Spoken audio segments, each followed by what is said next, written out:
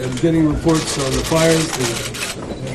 The tragedy continues. The, search for lives continues, and the firefighters are doing their best. And I want to express gratitude for that.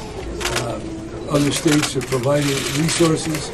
Uh, California is pretty well maxed out, and so we do need that help that we're getting, and we're very uh, appreciative. But the first responders, the firefighters, the inmates that are working there as well uh, are doing a spectacular job. I think people should know that they're, they're well served. I want to just uh, express gratitude. Um, you know, this transition uh, started off with you know reality check, uh, shootings, um, obviously these fires, uh, and that puts everything in perspective. But the transition could not be going more smoothly uh, because of the incredible generosity of energy and spirit uh, and collaboration. The governor and the governor's office, uh, his staff at every level, uh, working with our staff uh, to make sure this is a smooth transition.